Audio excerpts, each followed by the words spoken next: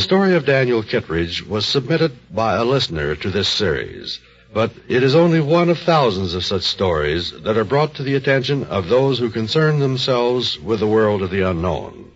And so it takes its rightful place in that vast body of evidence drawn from the everyday lives of ordinary men.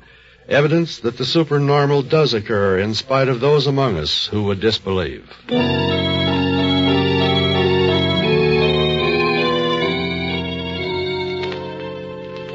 The Chicago police records for the month of August in the year 1925, one will find set down in a sober and routine report the testimony of one Henry Becker, intimate friend of Daniel Kittredge. On the night of August 12th, Mr. Becker visited Mr. Kittredge and the two men sat talking of bygone days.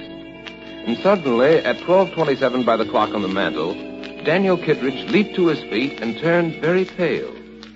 My brother. My brother George. Something's happened to him, Henry. He's. He... No. no. It may not be yet. If we hurry, we might still be able to help him. You've got your car out in front. Will you take me out to George's place? He's hurt, seriously hurt. If we leave right now, we may not be too late. How could you possibly know all this? We've been sitting. I just know right- it, that's all. I, I feel it. Now, come on. Henry, please.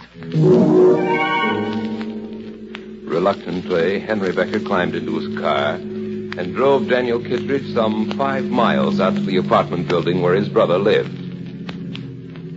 It was almost one o'clock when they finally reached their destination.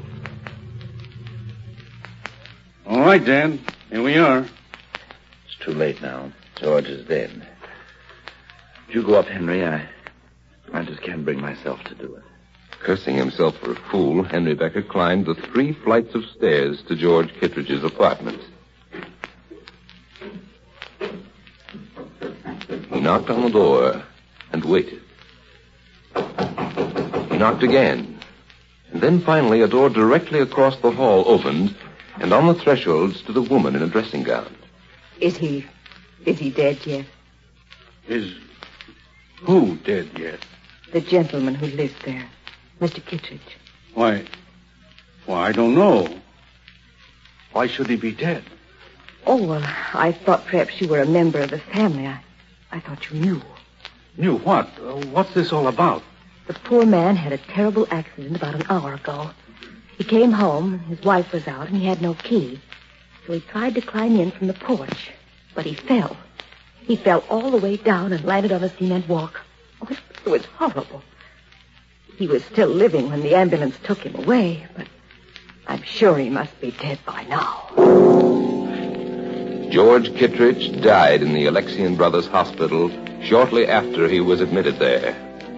But the tragic news came as no surprise to his brother Daniel.